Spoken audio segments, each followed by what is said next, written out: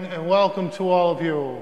And in a special way, we welcome all those people who are viewing of this Mass from their homes. Uh, and so let us begin on this Friday, as always, in the name of the Father, the Son, the Holy Spirit. Amen. The grace and peace of our Lord Jesus Christ, the love of God, the fellowship of His Holy Spirit be with all of you as we prepare to celebrate and to enter into these sacred and profound mysteries, let's pause for a moment and call to mind all of our sins and ask the Lord for his mercy, his healing, and his forgiveness.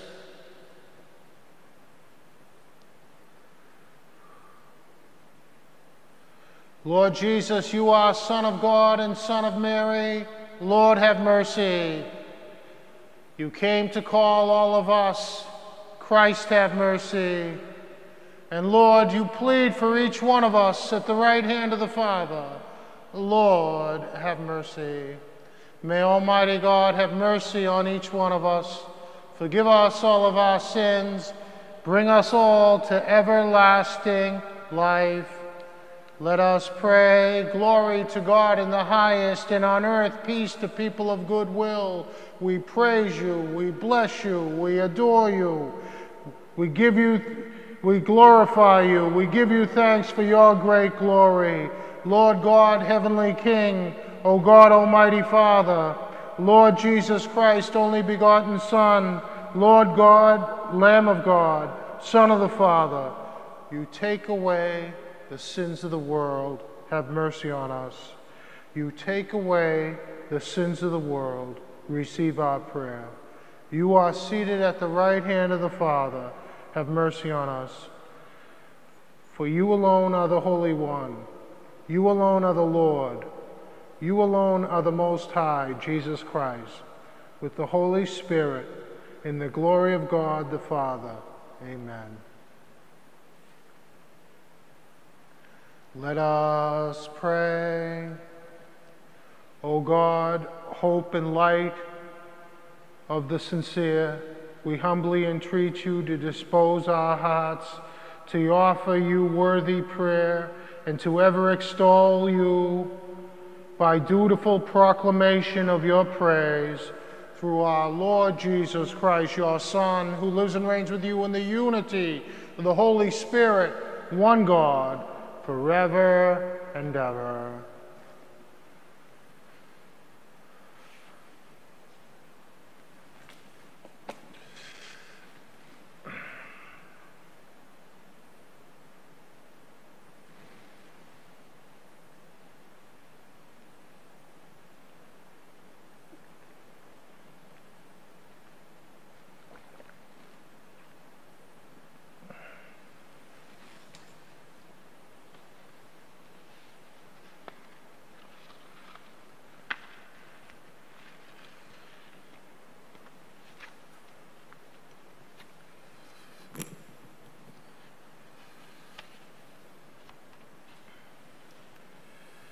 The Be with you. A reading from the, the Acts of the Apostles. A Pharisee in the Sanhedrin named Gamaliel, a teacher of the law, respected by all the people, stood up and ordered the apostles to be put outside for a short time.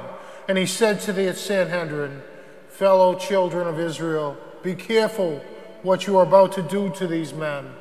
Some time ago, Theudas appeared claiming to be someone important, and about 400 men joined him, and he was killed.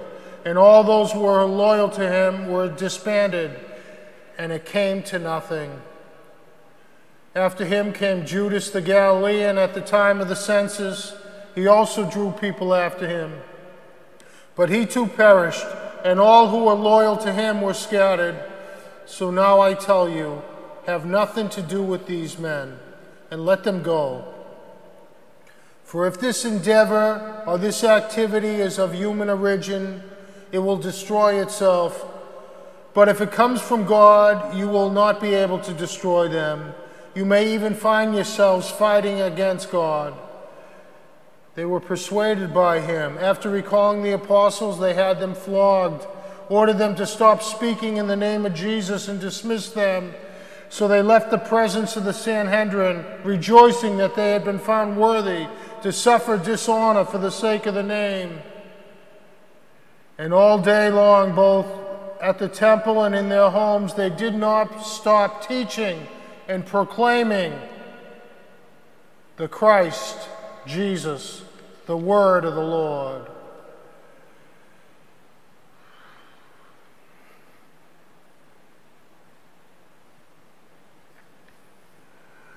The responsorial psalm.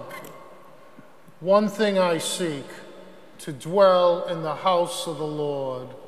One thing I seek, to dwell in the house of the Lord. The Lord is my light and my salvation. Whom shall I fear? The Lord is my life's refuge. Of whom shall I be afraid?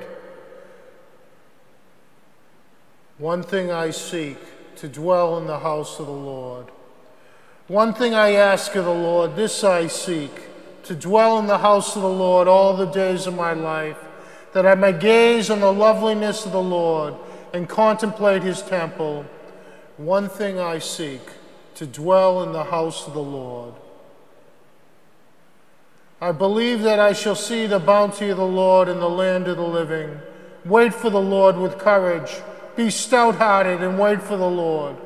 One thing I seek to dwell in the house of the Lord.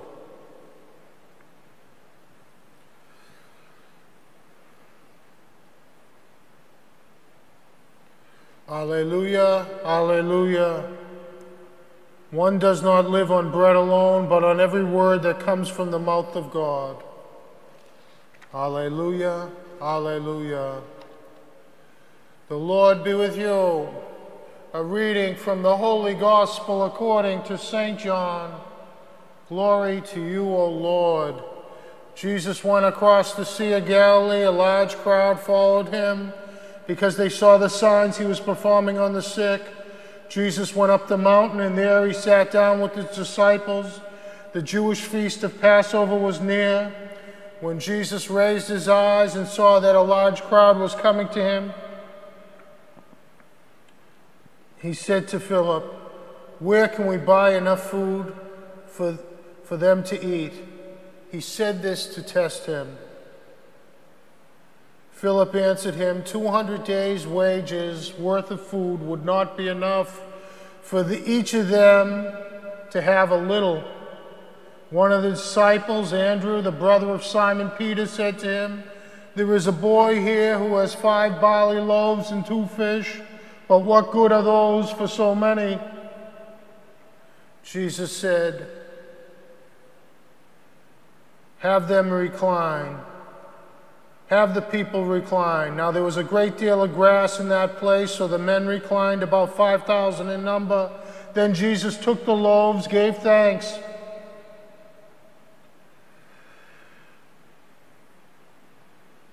And distributed them to those who were reclining, and also as much of the fish as they wanted. When they had their fill, he said to his disciples, Gather the fragments left over, so that nothing will be wasted.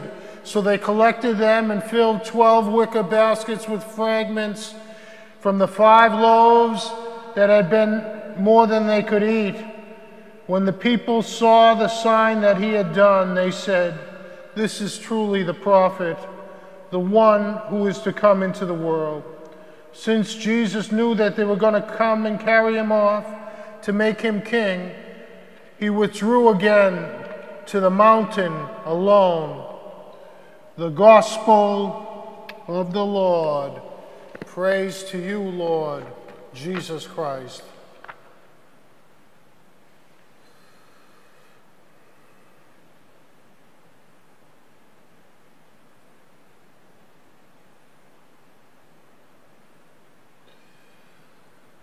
Jesus tells us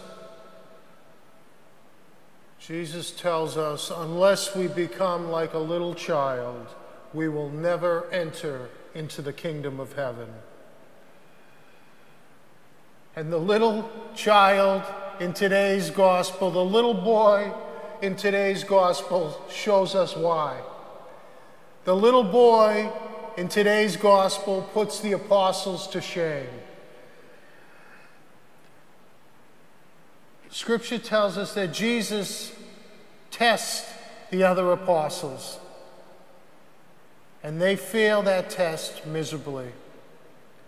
The other apostles, uh, Philip and Andrew, they do what we try to do. We try to figure out God's ways, how God works in the world. We try to figure out how God is going to solve our problems. Rationally, logically, reasonably, you and me, like the apostles, we try to figure out how God is going to help us.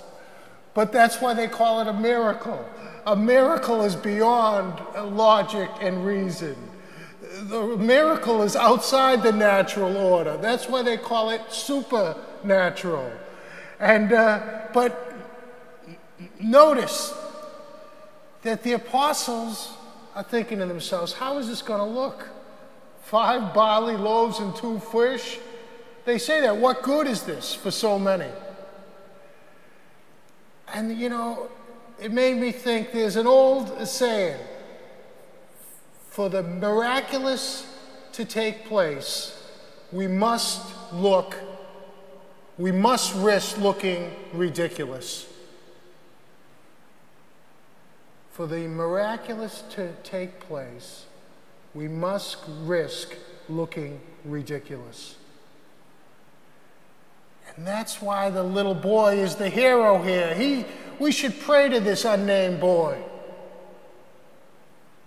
Maybe he should be our patron saint because he steps out in faith. He's not worried about risking embarrassment. He's not worried what it looks like. He's not trying to figure out how God's going to work. He's not trying to predict how the miracle's going to happen. No. The little boy simply steps out. He has bold, audacious faith. We should learn from him. He gives Christ what he has, the little that it is. He gives Christ everything he has as an oblation, an offering. And notice what Jesus does. He doesn't reject it. He accepts the little boy's offering. He blesses it. He transforms it. He turns it into abundance. Yes, the little boy should be our patron saint we should pray to this little child. And, but more importantly, we should imitate his faith because he has a bold, audacious faith. He doesn't try to predict how God's going to work, how God's going to solve our problems. The little boy simply realizes that with God, all things are possible.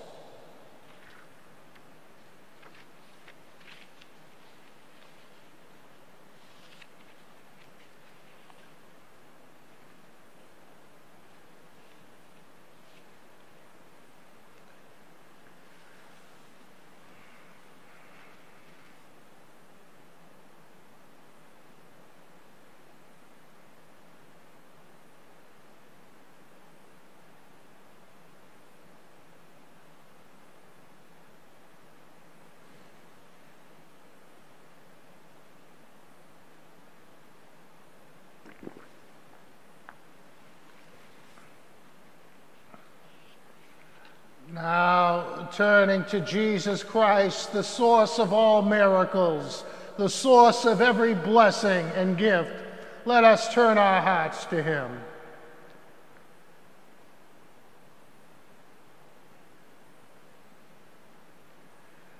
We pray in a special way for Pope Francis and all the bishops and the priests, all the clergy, all the deacons, that they proclaim the gospel of Jesus Christ to the ends of the earth. Let us pray to the Lord. Lord, have mercy. We pray for all those affected by the coronavirus, all those people who've lost their lives, all the family members who mourn their loss, all the healthcare workers and doctors, first responders, fast food workers, all those people, service workers, clergy who are on the front lines and minister to these people who are sick and dying. Let us pray to the Lord. Lord, have mercy. We pray in a special way for Denise and Gina, for Denise who passed away, and her daughter Gina and Mike and all their family. Let us pray to the Lord. Lord, have mercy. We pray, pray for Emma Kretz, who also passed away, for Emma Kretz and uh, her, her son Ray, for Rich Hayes. We pray for Sally Detloff, who passed away also, and her good husband Jerry, for Joe and Linda Pruell, Mr. and Mrs. Joel Bellino, for Tony daughter, for JP and Donna and their family, and for all of you, all your family members, living and deceased. Let's pause now for all your loved ones and all your intentions. And for the Neri, Rogers, and Lee family, the Rossetti family as well. Hail Mary, full of grace, the Lord is with thee. Blessed art thou amongst women. Blessed is the fruit of thy womb, Jesus. Holy Mary, Mother of God, pray for us sinners, now and at the hour of our death. Amen. We ask all these prayers in the name of Jesus Christ our Lord.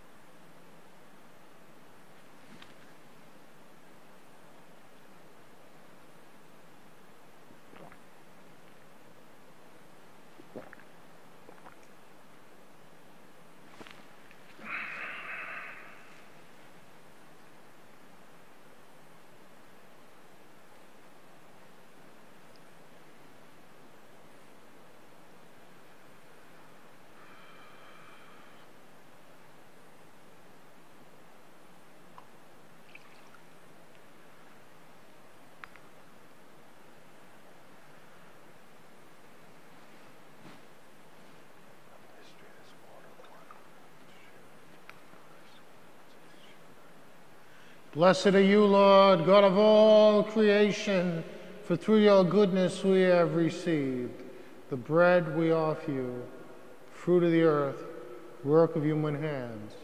Become for us the bread of life. Blessed be God forever.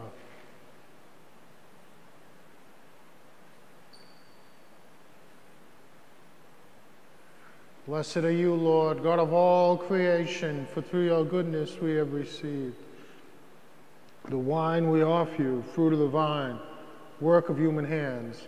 Become for us our spiritual drink. Blessed be God forever. Lord God. Lord, wash away my iniquities. Cleanse me of all of my sins.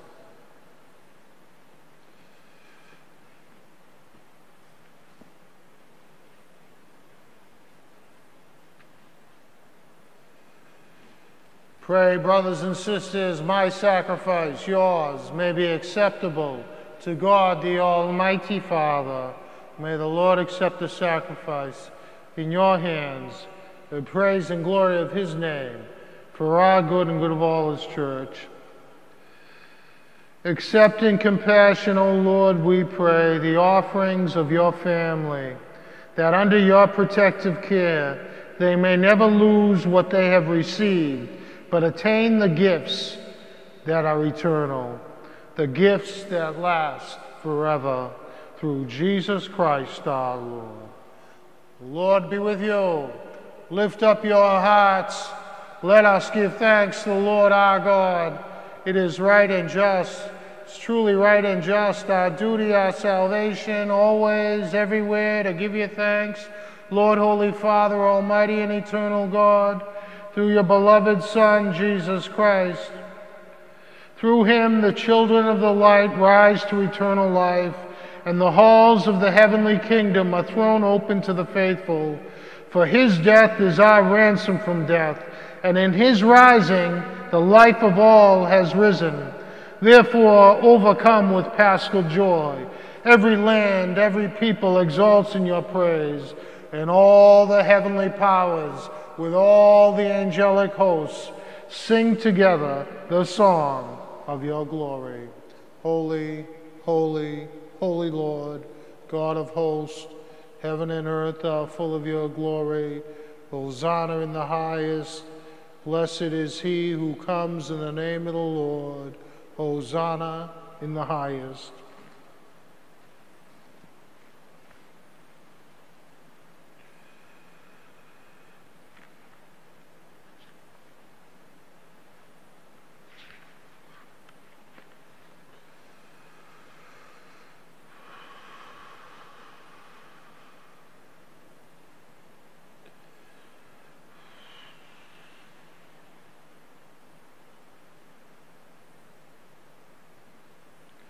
You are indeed holy, O Lord, the fount of all holiness.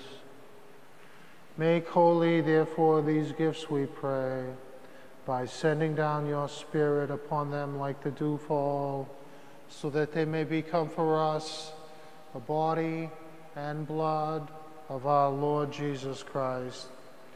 At the time he was betrayed and entered willingly into his passion, he took bread and giving thanks, broke it, and gave it to his disciples, saying, Take this, all of you, and eat of it, for this is my body, which will be given up for you.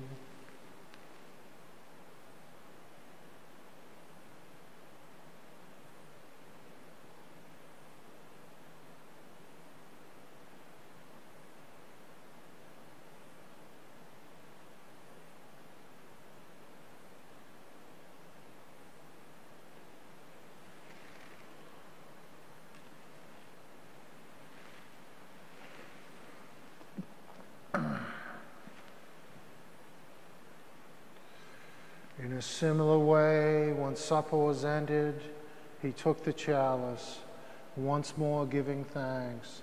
He gave it to his disciples, saying, Take this, all of you, and drink from it, for this is the chalice of my blood, the blood of the new and eternal covenant, which will be poured out for you and for many for the forgiveness of sins. Do this in memory of me.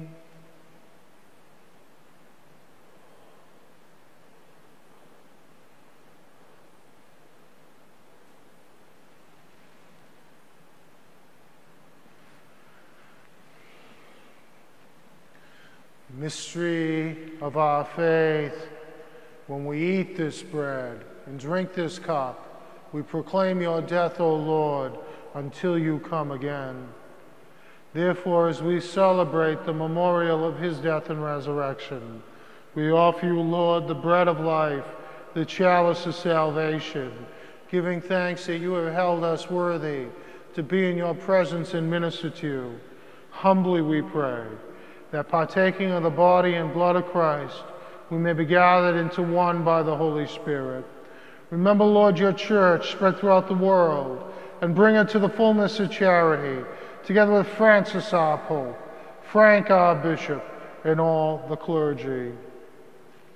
Remember, Lord, in a special way, your faithful servant, Donald G. Brown, whom you have called from this world to yourself. Grant that Donald G. Brown, who is united with your Son Jesus in a death like his, that Donald may also be one with him in his resurrection.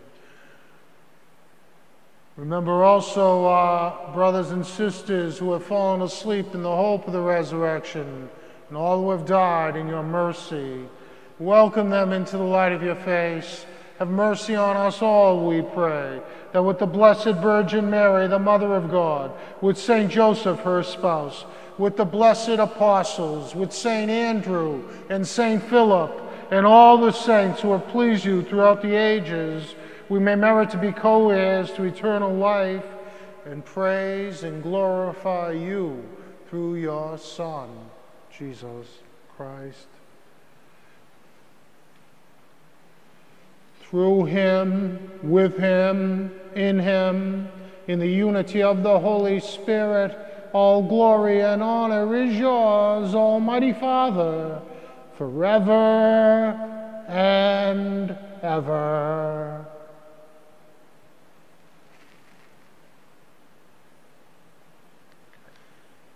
The Savior's command, informed by divine teaching, we now dare to say, Our Father, who art in heaven, hallowed be thy name. Thy kingdom come, thy will be done, on earth as it is in heaven. Give us this day our daily bread, and forgive us our trespasses, as we forgive those who trespass against us. And lead us not into temptation, but deliver us from evil. Deliver us, Lord, we pray, from every evil, and graciously grant us peace in our days. And by the help of your mercy, we may always be free from sin and saved from all worry and fear and distress as we await the blessed hope, the coming of our Savior, Jesus Christ. The kingdom, the power, the glory are yours now and forever.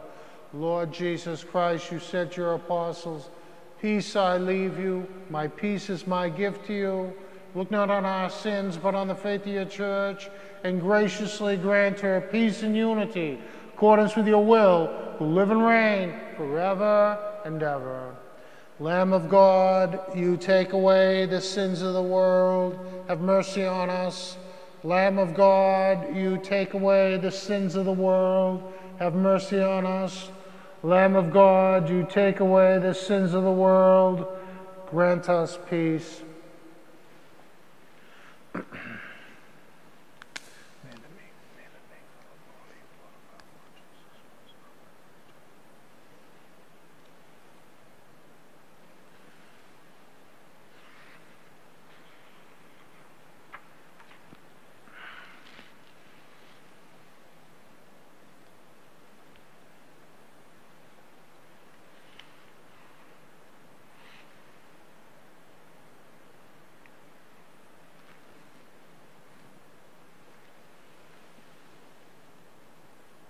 Behold the Lamb of God. Behold him who takes away the sins of the world. Blessed are those called to the supper of the Lamb. Lord, I am not worthy to have you enter under my roof. Only say the word, and my soul shall be healed. May the body of Christ bring us all to everlasting life.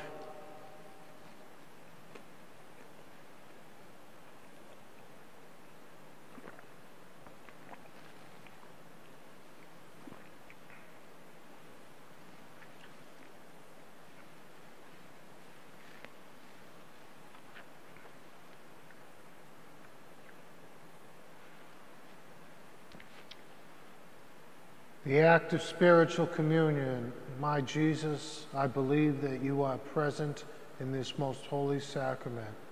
I love you above all things, and I desire to receive you into my soul. Since I cannot at this moment receive you sacramentally, come at least spiritually into my heart. I embrace you as if you were already there, and unite myself wholly to you. Never permit me to be separated from you. Amen.